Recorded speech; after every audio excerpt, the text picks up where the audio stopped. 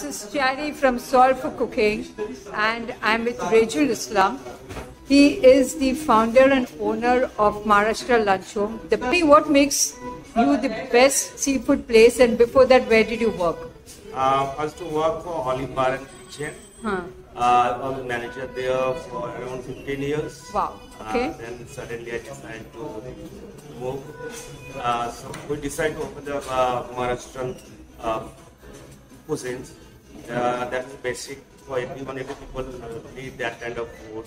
For middle class people as well as the people who come for good uh, dining experience. Okay. I love the decor of this place. It's very neat. I've been to the kitchen as well. But tell me, why is your prawns biryani the best and what is so different about it? Um, I don't have much idea uh, with others, but our prawns biryani, the prawns we serve that is very, very much fresh.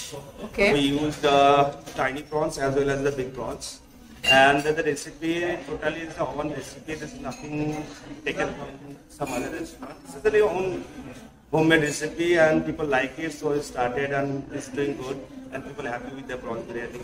As well as all the seafood we serve, that's very nice and people are happy with that. Fantastic. Thank you so much, Riaz, for inviting so me over. coming here. And I'm going to enjoy my meal now. Please. And uh, thank you for being on SALT for Cooking.